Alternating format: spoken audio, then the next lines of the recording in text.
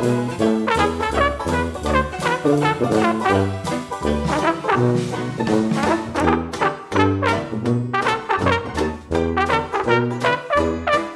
name is John Gleason, and I play Nick Valenti, who is a gangster in the uh, in the play in the musical Bullets Over Broadway. I can still see my sainted mother.